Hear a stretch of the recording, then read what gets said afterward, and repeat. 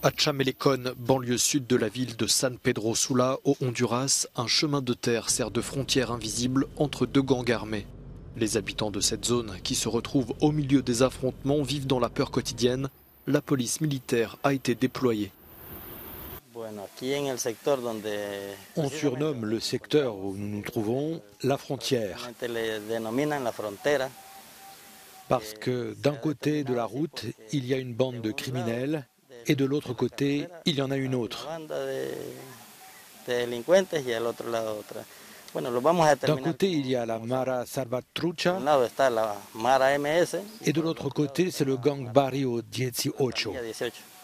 Le renforcement de la police militaire a ramené un peu de calme selon certains habitants, même si début juillet, une dizaine de familles a dû fuir la zone après avoir reçu un ultimatum de la part des gangs.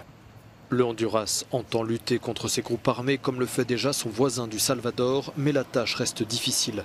Mi-juillet, des membres du MES Tressé Lamara Salvatrucha ont tué l'un des fils de l'ancien président hondurien Porfirio Lobo dans le parking d'une discothèque de la capitale, Tegucigalpa.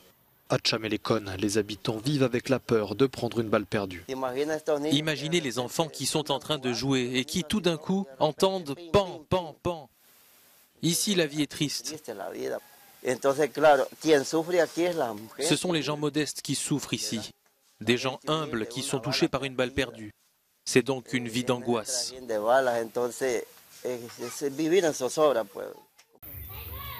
Dans son dernier rapport mondial, l'ONG Human Rights Watch souligne que le crime organisé continue d'affecter la société hondurienne et oblige de nombreuses personnes à quitter le pays.